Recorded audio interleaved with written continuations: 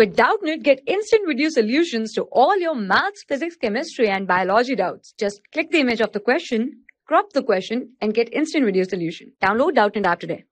Hello everyone.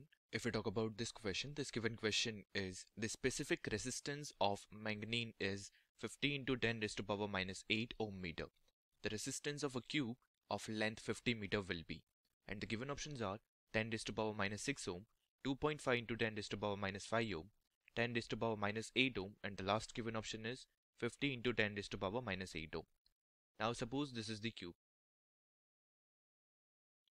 and I'm representing it in two dimensions. So let's suppose this will be its cross-sectional area. Okay, so current will pass through this cross-sectional area and the current will travel a distance of 50 meter because this is the length of wire. So as we know resistance is given by rho L divided by A where rho is the specific resistance which is given as 50 into 10 raised to power minus 8. The length is given as 50 meter and area is given as this cross sectional area will be 50 into 50 since this is a cube. So this is 50 into 50. So now this 50 and this 50 will cancel out. Similarly this and this 50 will cancel out. So we will be having 10 raised to power minus 8 ohm as the resistance of this particular cube. So correct option is option 3 and rest all options are incorrect. I hope you understood. Thank you.